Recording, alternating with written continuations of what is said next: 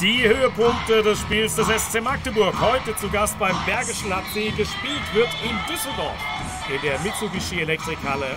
Die ist ausverkauft. Der BHC, der Gastgeber, in den blauen Trikots in einer Partie mit einer klaren Rollenverteilung. Fehlwurf von Stutzke, die ansonsten aber ein sehr, sehr gutes Spiel heute liefern.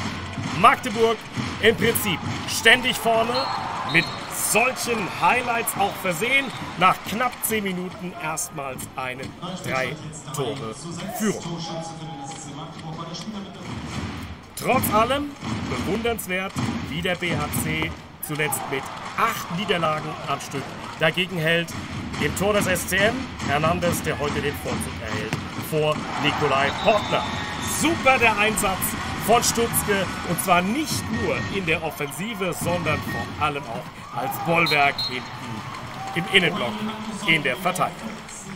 Trotz allem, es ist souverän, das liegt vor allem auch an Magnusson, heute bester Torschütze des Champions League-Siegers. Stutzke, mal kräftig, mal mit viel Eleganz und mit Technik, feiner Dreher hier gegen Hernandez. Noch sind wir in den ersten 30 Minuten.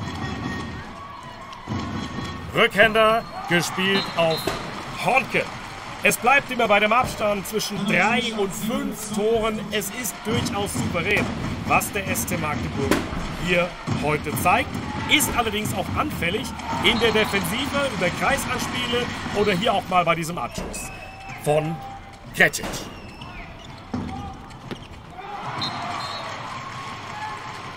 Zur Pause ist es dann ein 5 Tore Vorsprung für den SC Magdeburg.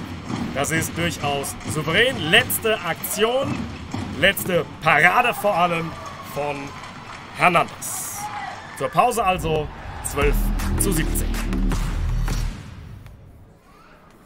Die zweite Hälfte beginnt mit einer Ernüchterung, mit einer roten Karte gegen Tim Notdorf. Der hatte ohnehin schon zweimal zwei Minuten gesehen, bekommt dann nach einem Foul aber glatt rot. Es ist ein Spiel für die Moral des Bergischen HC. Es ist eine klare, souveräne Angelegenheit für den SC Magdeburg, aber es gibt kein Debakel.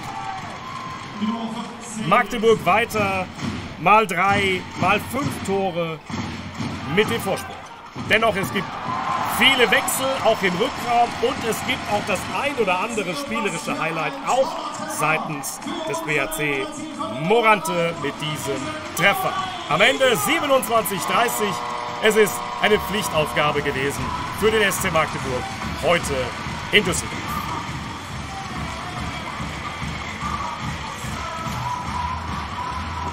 Alle Spiele live und auf Abruf bei Dein.